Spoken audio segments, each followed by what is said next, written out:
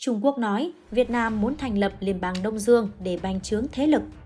Hàng ngàn năm nay, Trung Quốc luôn muốn thuần phục Việt Nam, nhưng Việt Nam với sự tự lực tự cường thì không muốn làm điều đó.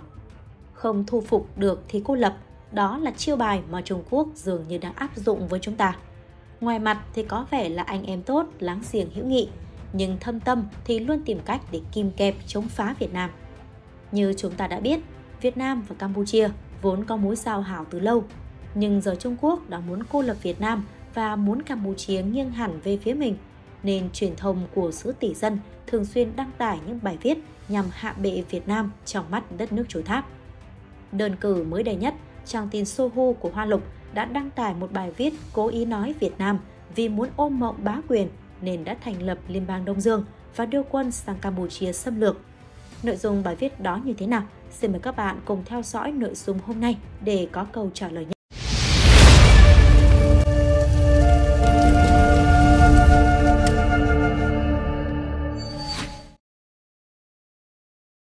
Vâng thưa quý vị, ngay từ đầu bài viết trên trang Sohu đã đi thẳng vào vấn đề rồi vội vàng kết tội cho Việt Nam. Sau đó, truyền thông Trung Quốc đã đưa ra những lập luận hết sức vô lý sau đây để chứng minh cho kết luận của mình.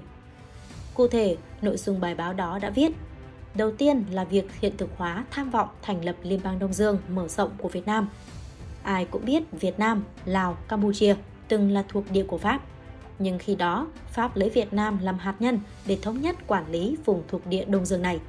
Nói cách khác, ba nước kể trên đã hội nhập từ thời Pháp thuộc, nên về mặt kinh tế hay chính trị, họ cũng đều có mối liên hệ và nguồn gốc sâu xa nhất định. Nhưng sau Thế chiến thứ hai, thực dân Pháp bị đánh đuổi, Việt Nam và Campuchia đã giành được độc lập dân tộc ở một mức độ nào đó. Tiếp đó, tác giả bài báo đã quy kết, các chính trị gia Việt Nam luôn có tham vọng đó là thành lập một liên bang Đông Dương mở rộng. Trong đó, Việt Nam làm nòng cốt cùng với Lào và Campuchia thống trị toàn bộ bán đảo hiện có. Nhằm củng cố thêm cho luận điểm này trong nội dung của mình, tác giả giải thích. Trước kia, do Việt Nam còn bận đánh Mỹ, đất nước chưa thống nhất nên họ chỉ có thể chôn sâu tham vọng này trong lòng. Nhưng sau khi Việt Nam giành chiến thắng trong chiến tranh Việt Nam năm 1975 và đánh đuổi người Mỹ, tham vọng của họ bắt đầu sống dậy và họ cũng bắt đầu hiện thực hóa giấc mơ về một liên bang Đông Dương mở rộng của mình. Nhưng nếu như Việt Nam muốn thành lập cái gọi là Liên bang Đông Dương mở rộng thì họ phải chinh phục được Lào và Campuchia. Trong đó, Lào tương đối yếu vì chủ nghĩa xã hội của Lào được thành lập nhờ sự giúp đỡ của quân đội nhân dân Việt Nam. Lào luôn chấp nhận sự dẫn dắt của Việt Nam, cũng giống như các nước chư hầu của Việt Nam ngày xưa vậy. Còn về Campuchia, tác giả viết, Duy chỉ có Campuchia là trở ngại duy nhất để Việt Nam thực hiện tham vọng của mình. Bởi vì ngoài vấn đề Khmer Đỏ ra, thì Campuchia luôn thân thiết với Trung Quốc và tương đối thù địch với Việt Nam. Vì vậy, Việt Nam có thể giải quyết Campuchia bằng chiến tranh để hiện thực hóa tham vọng của mình. Đây là lý do cơ bản khiến Việt Nam phái 200.000 quân xâm lược Campuchia. Đưa ra lý do tiếp theo để giải thích sự mưu đồ của Việt Nam. Tác giả không ngần ngại mà viết rằng Việt Nam khi đó có sự ủng hộ mạnh mẽ của Liên Xô, một quốc gia vì muốn làm bá chủ toàn cầu mà cố gắng tiến về phía Nam, tới khu vực Đông Dương tìm chỗ đứng lâu dài để bành trướng quyền lực của mình. Tại đây, Việt Nam chính là chỗ dựa vững chắc nhất được Liên Xô lựa chọn. Vậy nên, Liên Xô không chỉ ký liên minh quân sự với Việt Nam, hỗ trợ Việt Nam về số lượng lớn vũ khí mà còn lập cảng quân sự ở nước này. Để rồi sau khi Việt Nam thống nhất, Liên Xô khuyến khích Việt Nam xâm lược Lào và Campuchia. Tại sao Liên Xô phải làm điều này? Bài báo chỉ ra hai lý do như sau. Một là họ muốn bóp nghẹt quyền lực của Mỹ ở Đông Dương bằng cách chiếm đóng Campuchia để nâng tầm ảnh hưởng của mình tại các nước thân Mỹ như Thái Lan và Malaysia. Hai là Liên Xô muốn chấn áp các kênh thương mại trên bộ và trên biển của Trung Quốc để săn đe hoa lục. Có thể nói, đây là một mũi tên trúng hai con chim hết sức thầm độc. Vâng, theo như những gì mà truyền thông Trung Quốc nói, thì Việt Nam muốn làm tiểu bá vương tại Đông Dương nên muốn thành lập liên bang ở bán đảo này, đồng thời đưa quân xâm lược Campuchia. Việt Nam đã bắt tay với Liên Xô để hiện thực hóa tham vọng của mình, đồng thời giúp Liên Xô đạt được những mục đích đen tối khi đó. Nhưng nếu căn cứ vào các tài liệu được ghi chép lại, thì rõ ràng tác giả bài viết vô cùng rốt nát về kiến thức lịch sử. Liên quan đến Liên bang Đông Dương, thì Thư viện mở Wikipedia có thông tin cụ thể tác giả dường như không chịu tìm hiểu nên đã đưa ra những thông tin rất thiển cận. Cụ thể, trang Wikipedia đã viết Liên bang Đông Dương hay còn gọi là Đông Dương thuộc Pháp, Đông Pháp là lãnh thổ nằm dưới quyền cai trị của thực dân Pháp trong hơn 69 năm, từ năm 1885 đến năm 1954 tại khu vực Đông Nam Á, ngày nay thuộc lãnh thổ Việt Nam, Lào, Campuchia và đất đai của huyện Trạm Giang, tỉnh Quảng Đông, Trung Quốc. Nhân danh triều đình Huế, Pháp cũng chính thức kiểm soát quần đảo Trường Sa và quần đảo Hoàng Sa vào năm 1920 và tuyên bố chủ quyền thống trị vào năm 1921. Vào tháng 9 năm 1858, lực lượng viễn trinh của đệ nhị đế chế Pháp cùng sự hỗ trợ của thực dân Tây Ban Nha nổ súng tấn công bán đảo Sơn Trà của nước Đại Nam, ngày nay thuộc Đà Nẵng, mở đầu cho công cuộc thuộc địa hóa bán đảo Đông Dương.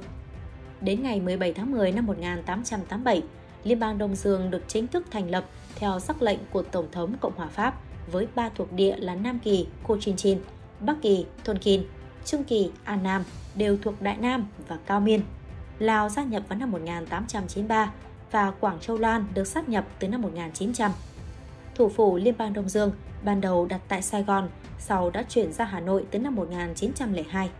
Ngoài ra, Đà Lạt còn được xem như thủ đô mùa hè của liên bang, nơi nghỉ dưỡng dành cho giới cầm quyền Pháp.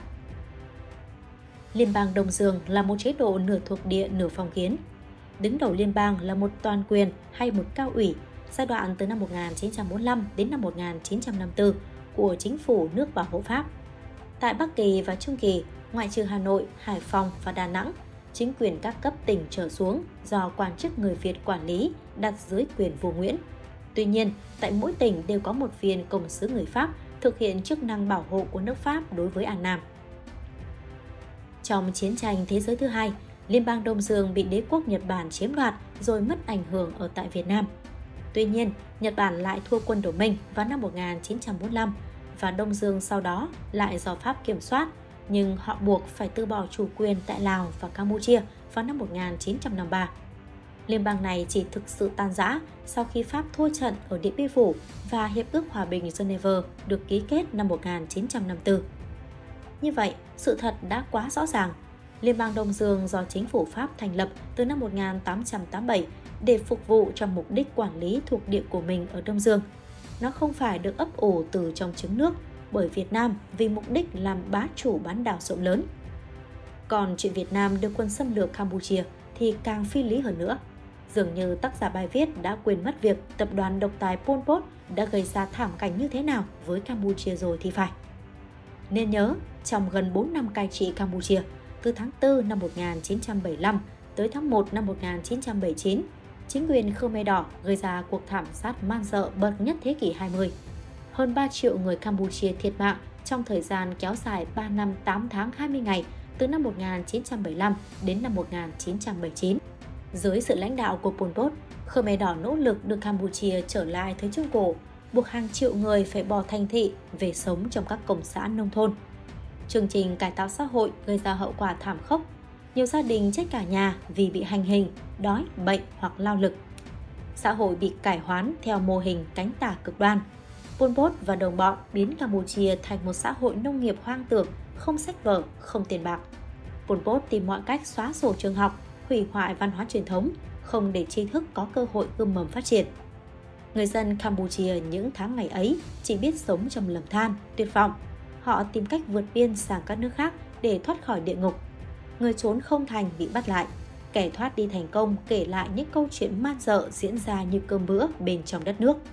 Khmer Đỏ tàn độc đến độ mất hết nhân tính. Chúng xử tử người bằng các công cụ thô sơ.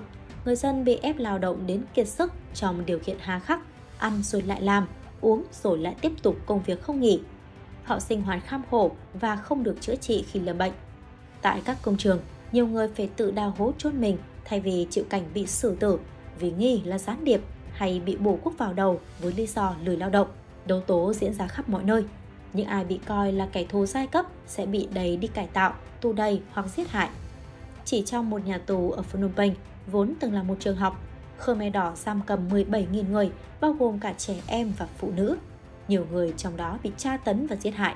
Song song với việc tàn sát trong nước, Khmer Đỏ tìm cách tấn công các nước láng giềng. chúng tuyên bố muốn hòa bình với các nước nhưng liên tục thúc đẩy các cuộc đụng độ biên giới. Nghiêm trọng nhất là cuộc tấn công sang vùng biên giới Tây Nam Việt Nam thảm sát dân thường.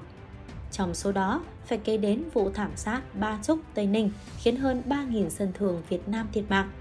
Dù trước đó Khmer Đỏ đã gây hấn, nhưng cuộc chiến bắt đầu leo thang, đưa sự việc vào tình thế nghiêm trọng là ngày 13 tháng 12 năm 1978, khi 10 trong 19 sư đoàn, khoảng 50.000 đến 60.000 quân của quân đội Khmer Đỏ được sự trang bị và hậu thuẫn của Trung Quốc tiến công xâm lược Việt Nam trên toàn tuyến biên giới. Ba sư đoàn đánh vào Bến Sỏi với mục tiêu chiếm thị xã Tây Ninh, hai sư đoàn đánh vào Hồng Ngự, Đông Tháp, hai sư đoàn đánh khu vực Bảy Núi, An Giang, một sư đoàn đánh Trà Phô, Trà Tiến, Kiên Giang. Việt Nam trước đó chỉ tổ chức phòng ngự và cố đàm phán tìm giải pháp hòa bình, nhưng Khmer Đỏ bác bỏ. Nhưng trước sự hung hăng của tập đoàn Pol Pot, quân và dân Việt Nam đã quyết đứng dậy, không nhún nhường nữa. Sau khi đẩy lùi được đội quân hung hăng ra khỏi biên giới, đáp lại yêu cầu của mặt trận đoàn kết dân tộc cứu nước Campuchia và nhân dân Campuchia từ ngày 23 tháng 12 năm 1978 đến ngày 7 tháng 1 năm 1979, quân đội nhân dân Việt Nam đã vào sâu trong Campuchia, lật đổ Khmer Đỏ và lập nền chế độ mới cho Heng Samri đứng đầu. Tàn quân Khmer Đỏ chạy sang ẩn náu bên kia biên giới Thái Lan. Tuy nhiên, Khmer Đỏ với sự trợ giúp về lương thực, vũ khí của Thái Lan, Trung Quốc và Hoa Kỳ đã tổ chức đánh du kích và đe dọa sự tồn tại của chế độ Cộng hòa Nhân dân Campuchia. Năm 1982, Việt Nam rút bớt quân khỏi Campuchia. Ngay sau đó, Khmer Đỏ hoạt động mạnh trở lại và chiếm một số khu vực. Nhận thấy quân đội Cộng hòa Nhân dân Campuchia còn rất yếu ớt nên không thể tự chống cự được. Việt Nam buộc phải tiếp tục đóng quân tại Campuchia để bảo vệ chế độ Hun Sen và truy quét Khmer Đỏ. Mùa khô năm 1984-1985, cuộc tấn công quyết định của Việt Nam đã phá hủy các căn cứ chính của Khmer Đỏ, khiến Khmer Đỏ suy yếu đi nhiều và không còn đủ sức đe dọa chế độ mới của Campuchia nữa. Sau chiến dịch mùa khô năm 1985, nhận thấy chế độ Cộng hòa Nhân dân Campuchia đã tự đứng vững được.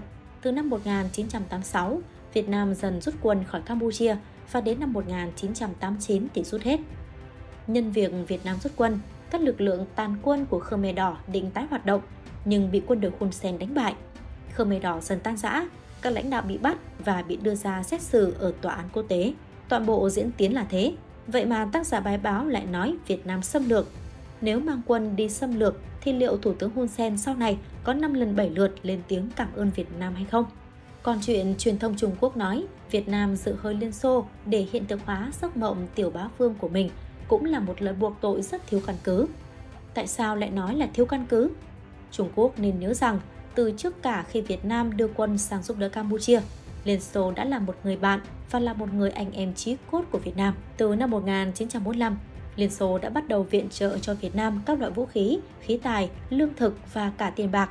Điều này cho thấy rõ một điều rõ ràng, mối quan hệ hai nước Việt Xô là một mối quan hệ truyền thống lâu đời, chứ nó không phải là xây dựng trong ngày một ngày hai chỉ để thực hiện hóa giấc mộng bá quyền của nhau.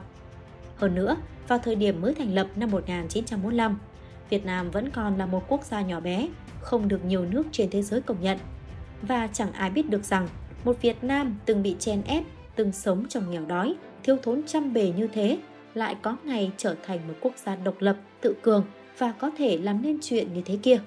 Vậy nên, những gì mà Liên Xô giúp đỡ cho Việt Nam chỉ có thể được lý giải một cách đơn giản là nó xuất phát từ cái tâm tốt lành của người bạn.